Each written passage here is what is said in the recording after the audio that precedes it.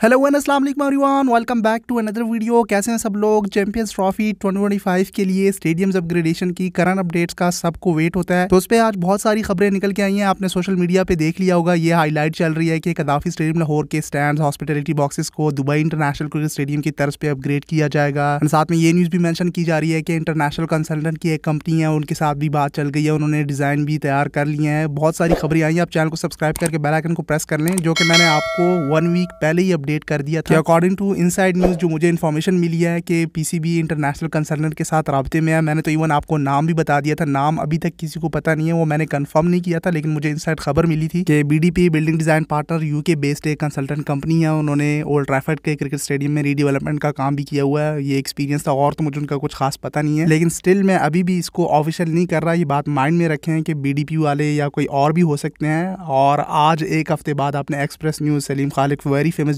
Journalist उन्होंने तो बड़े बड़े दो आर्टिकल्स भी शेयर किए कि इंटरनेशनल कंपनी के साथ रबता हो गया। नाम कहीं पे भी मेंशन नहीं किया गया। खैर, अब वो बी वाले होते हैं या पॉपुलस कंसल्टेंट वाले होते हैं या कोई और कंसल्टेंट कंपनी होती है, जो भी हुई ऑफिशियली हमको कहीं ना कहीं पता लग जाएगा। खैर, एक न्यूज़ तो हमारी कहीं ना कहीं करेक्ट साबित हुई, इस पर लाइक तो बनता है कि इंटरनेशनल कंसल्टेंट के साथ रबता हुआ, उन्होंने डिज़ाइन के बारे में प्लान भी दे दिया। मैं आपको ऑफिशियल न्यूज़ पढ़ के बता देता हूँ, उस, उसको हाईलाइट करके उसकी समरी ऐड कर देता हूँ। तो आपको समझ आ जाएगा कि लेटेस्ट अपडेट्स क्या आ रही हैं, ये एक्सप्रेस न्यूज़ ने भी मैं आपको सोर्स भी बता रहा हूँ उन्होंने भी शेयर किया, और भी बहुत सारे मीडिया चैनल्स ने इसको शेयर किया। आज बहुत सारी खबरें ये हाईलाइट हुई हैं। खैर, आप वीडियो के आखिर तक साथ जुड़े रहिएगा और लाइक भी कर दीजिएगा। बताया जा रहा है कि कदाफी स्टेडियम लाहौर को दुबई क्रिकेट स्टेडियम जैसा बनाने, बनाए जाने की तैयारी की जा रही है।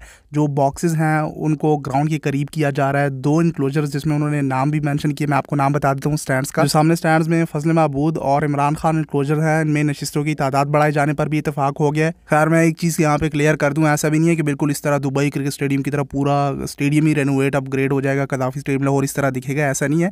वो सिर्फ़ वो हॉस्पिटलिटी बॉक्सेस की बात कर रहे हैं कि उसको ग्राउंड के करीब कर दिया जाएगा और दो इनक्लोजर में नशस्तों की तादाद बढ़ जाएगी, जो मरकजी मेन बिल्डिंग है जो सामने आपको दिख रही है। उसमें मौजूद जो डायरेक्टर्स के कमरे हैं, उनको डिमोलिश करने का फैसला कर लिया गया है। उन्हें एन या क्रिकेट हाउस मुंतकिल किया जाएगा। मजीद तफसीत में एक्सप्रेस की तरफ़ से ये मैंशन किया गया है कि आइंदा बरस पाकिस्तान ने चैंपियंस ट्रॉफी की मेज़बानी करना है तो पीसीबी ने इससे कबल लाहौर, कराची और रावलपिंडी के तीन अहम वेन्यूज को अपग्रेड करने का मनसूबा बनाया है, जो कि नॉट अ न्यू थिंग कोई नई खबर नहीं है। कई महीनों से पीसीबी ये गुन गा रहा है। इसके बाद ये बताया गया कि इस हवाले से एक गैर मुल्की कंपनी ने डिज़ाइन भी पेश कर दिए हैं। गुजशत दिनों लाहौर में मनदा अजलास में ये मीटिंग्स वगैरह तो चल रही हैं तो पिछले दिनों में भी ये अजलास हुआ था। स्टेडियम के हवाले से तबादला ख्याल किया गया। ये खास तौर पर कदाफी स्टेडियम लाहौर के बारे में बात की जा रही है कि इसे दुबई क्रिकेट स्टेडियम की तरफ़ पर बनाने का फैसला हुआ है। शायकीन को बगैर किसी रुकावट मैच का वाजिया नज़ारा देखने का मौका मिलेगा। और कदाफी स्टेडियम लाहौर में मौजूदा हॉस्पिटलिटी बॉक्सेस ग्राउंड से बहुत पीछे हैं। इन्हें आगे की तरफ़ किया जाएगा। इमरान खान, फजल महबूद इनक्लोजर्स की नशस्तों की तादाद बढ़ाए जाने पर भी इतफाक हुआ है। साथ में एक और चीज़ भी मैंशन की गई है कि दस्तियाबी की सूरत में बड़ी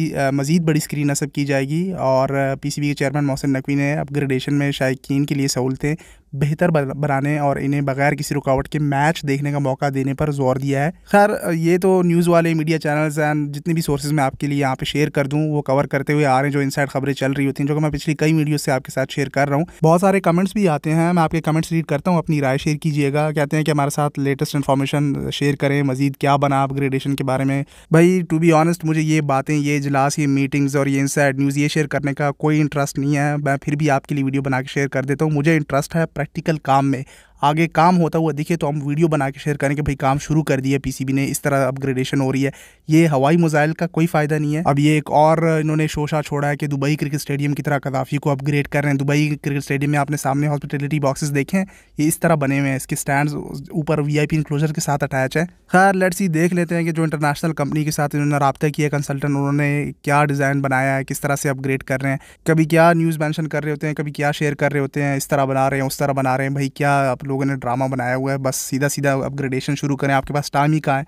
पाँच से छः महीने रह गए ज़्यादा ज़्यादा आप कह लें कि चलें फेबररी मार्च में कर लें। सात से आठ महीने कर लें। आप इसमें आपको तीनों स्टेडियम्स अपग्रेड करने मुझे तो लगता है वही छोटी मोटी अपग्रेडेशन उधर की रेनोवेशन करके तो बस चैंपियंस ट्रॉफी होस्ट कर लेंगे, वरना बड़े पैमाने में तो इतने छोटे टाइम में अपग्रेडेशन इम्पॉसिबल है। साथ ही ये इजलास हो जाने के बाद और ये ऑब्वियसली मीडिया के साथ बातें शेयर की होंगी तो ये बातें पीसीबी चेयरमैन की तरफ़ से बताई गई और फिर वो जो है ना सीधा इंग्लैंड चले गए हैं, जहाँ पे वो जमरात को, जो थर्सडे को मेरे ख्याल आज में चौथा टी ट्वेंटी है, वो देखने जाएँगे। भाई खूब ट्रिप मार लिए हैं, वज़ीर दाखिला भी हैं सैनेटर भी मेरे ख्याल से और पाकिस्तान क्रिकेट बोर्ड के चेयरमैन भी हैं तो भाई इतनी नशस्तें मिली हुई हैं तो चक्कर पे चक्कर लगा रहे हैं। अब इंग्लैंड जाएँगे, वहाँ सुनने में आ रहा है कि T twenty world cup twenty four भी देखने जाएँगे यूएसए भी जाएँगे, फिर इटली भी जाएँगे, वहाँ के वजी दाखिला से भी मिलेंगे और एक दो और कंट्रीज़ भी मैंशन की हुई थी। मैं आज खबरें पढ़ रहा था।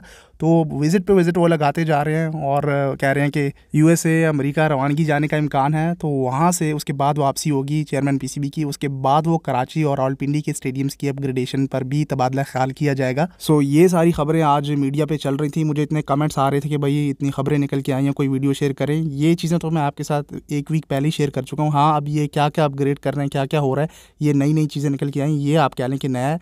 बाकी इंटरनेशनल कंपनी के साथ रबता ये वो वो तो मैं पहले ही कवर कर चुका हूँ। अब मुझे ये समझ नहीं आ रहा। मेरा आपसे क्वेश्चन है कमेंट सेक्शन में बताइएगा कि दुबई के क्रिकेट स्टेडियम की तरह किस तरह कदाफ़ी स्टेडियम लाहौर को अपग्रेड कर रहे हैं। दुबई क्रिकेट स्टेडियम तो कुछ इस तरह से दिखता है और कदाफ़ी स्टेडियम लाहौर के इंक्लोजर एंड स्टैंड इस तरह से हैं। कम्प्लीटली डिफरेंट स्ट्रक्चर है। जो मुझे समझ आ रहा है, वो सिर्फ़ जो हॉस्पिटलिटी बॉक्सेस हैं यहाँ पे या मीडिया बिल्डिंग है या जो मेन पोलियन है, उसमें थोड़ी बहुत चेंजेस वगैरह होंगी या जो वो स्पेस मेंशन कर रहे थे कि डिजिटल बाउंड्री के बैक साइड पे चौदह से पंद्रह गज़ फासला होता है, जहाँ पे वो प्रोडक्शन यूनिट वाले, उनके वो कैमरे वगैरह पड़े होते हैं। तो वहाँ पे कोई चेंजेस वगैरह करेंगे या टेम्प्रेरी स्टैंड पहले बनाने का बताया था? अब ये कह रहे हैं, दुबई तर्स की तरह प्लान तैयार किया है। तो समझ नहीं आ रही मुझे पीसीबी की, आप मुझे बताइएगा, मेरा तो दिमाग घूम गया कभी कहते हैं टेम्प्रेरी स्टैंड्स बनाएँगे यहाँ पे सामने, कभी कहते हैं ये hospitality boxes Dubai cricket stadium की तरह बना देंगे। तो मुझे तो भाई समझ नहीं आ रही कि बट ये है कि मैं आपके साथ फिर भी वीडियो शेयर कर देता हूँ कि इनसाइड मीडिया क्या चल रहा है या इनसाइड पीसीबी क्या हो रहा है। सो खैर आप कहते हैं कमेंट्स आपके आते रहेंगे तो आपके साथ इस तरह टाइम टू टाइम मैं अपडेट्स वीडियो शेयर करता रहूँगा। बट ये इनके अपग्रेडेशन प्लान का मुझे समझ नहीं आया कि किस तरह से दुबई की तरस की तरह बना रहे हैं। बाकी इनक्लोजर्स में तादाद का इजाफा होना, वो तो समझ आती है, लेकिन इनक्लोजर में अब फजल महबूद इनक्लोजर है या इमरान खान इनक्लोजर है, इसमें तो चेयर्स इस तरह से इंस्टॉल हैं।